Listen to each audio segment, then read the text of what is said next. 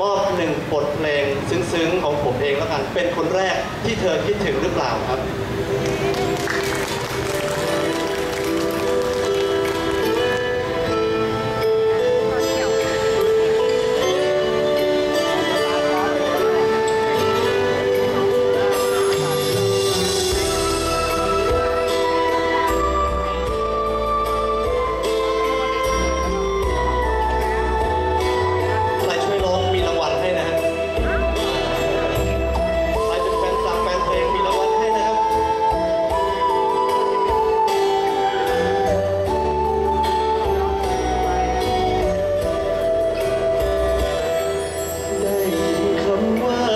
คิ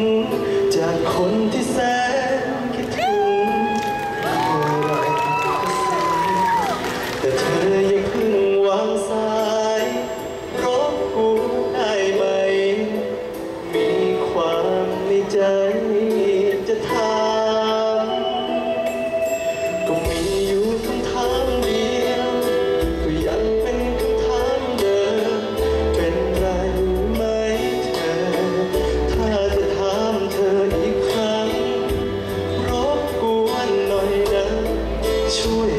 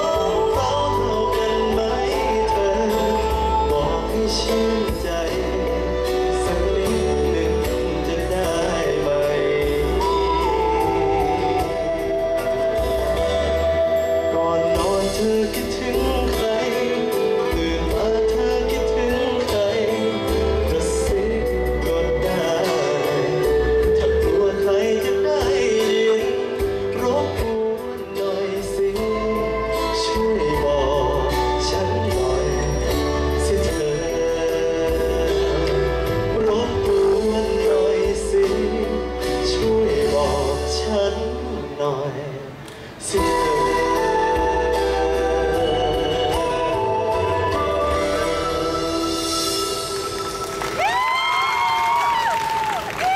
อบคุณมากขอบพระคุณครับสำหรับเสียงปรบมือนะฮะเรียกว่า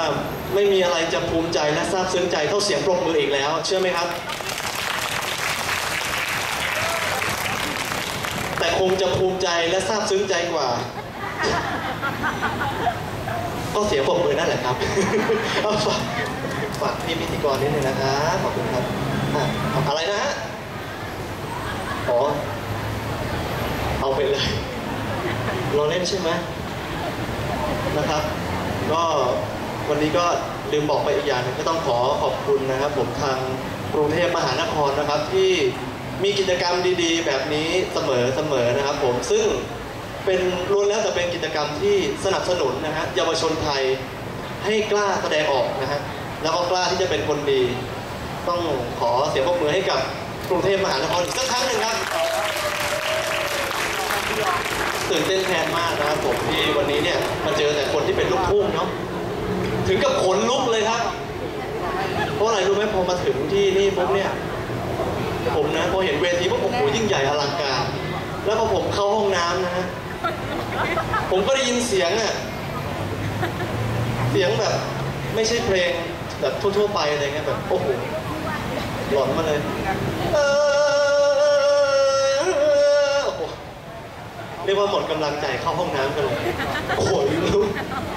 แซวเล่นแซวน้องเขาเล่นนะเพราะว่าต้องต้องเป็นถือว่าเป็นการชื่นชมนะเพราะว่าน้องๆเขาขยันมาก แล้วก็เอาจริงเอาจังมาก คือต้องเป็นที่หนึ่งให้ได้ว่างั้นเถอะนะฮะก็เลยเหมือนคิดเหมือนตัวเองไง